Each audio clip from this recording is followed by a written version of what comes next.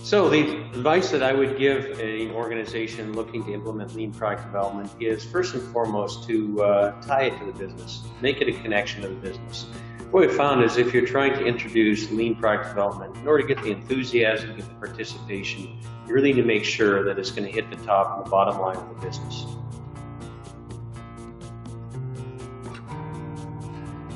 So uh, I'm thrilled to be at uh, LPPD this year. Uh, I'm going to be talking about what I call six plus one. Six being six essential elements of lean product development, plus one, which is probably the most important piece, and that is the connection of business.